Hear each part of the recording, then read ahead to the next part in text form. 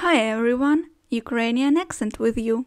And this is my second attempt at reviewing Ukrainian films and series, and maybe not only Ukrainian ones.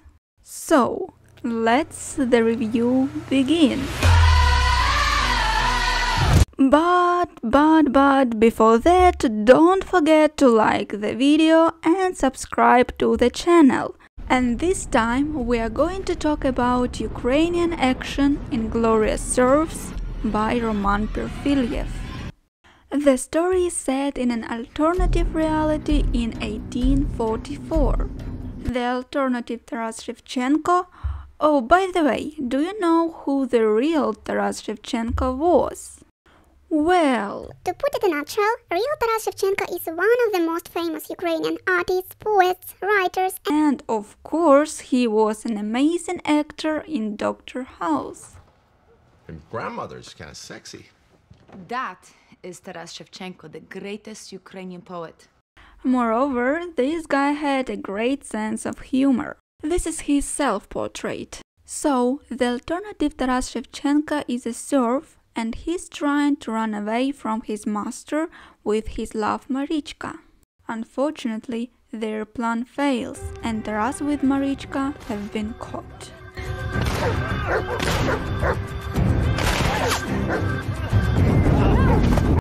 Marichka is taken back to her master, however, Taras is sentenced to death. First time? In the captivity, Taras meets this guy. Як же тебе звати? Моє ім'я Акайо Накамура. One more time, please. Акайо Накамура. Okay, I'll Google it. Uh-huh, Akai Nakamura, and he is the Japanese samurai of Ukrainian origin. But why did he arrive to Ukraine from Japan? Because he wants to get back the sword of his dead teacher. One Japanese opium dealer killed Akaya's teacher, took the sword and arrived in Ukraine to buy some exotic girls. So, Taras and Akaya are saved by one guy who's called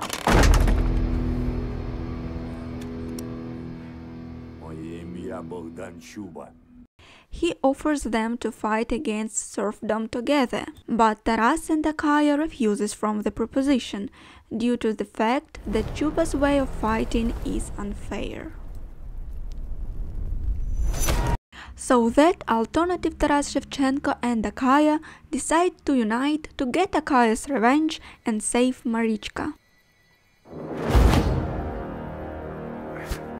Meanwhile, the Japanese opium dealer arrives to Marichka's master Yaromir and presents him the sword.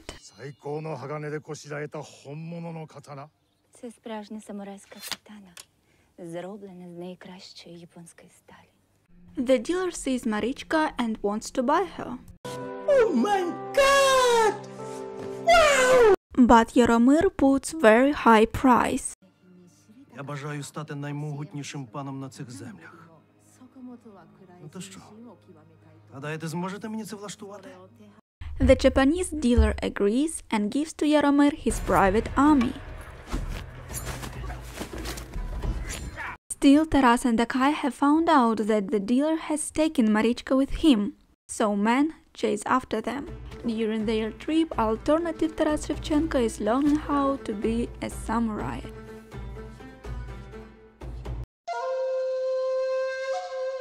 Finally, the main battle. Justice has been restored, Marichka has been saved, and the main characters' paths diverge. So, what can I say about Inglorious Serfs?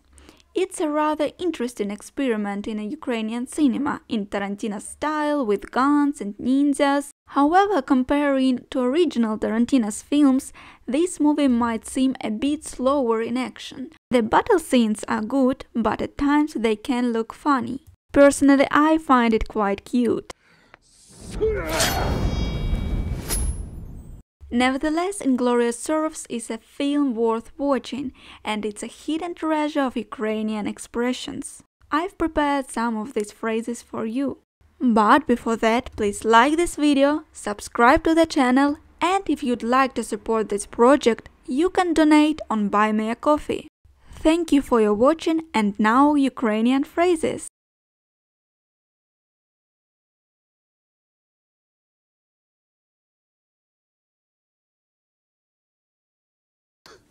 Тому пану ще десь твою кишеню.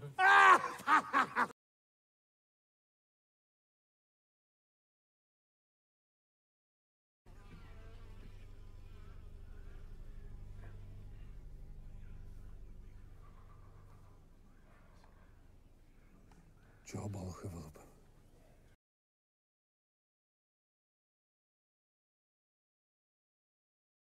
Кого біса псуєш мої речі?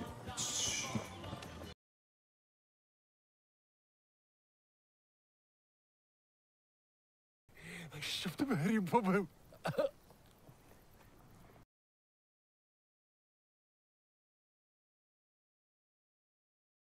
Не будь шмаркачем, підводься.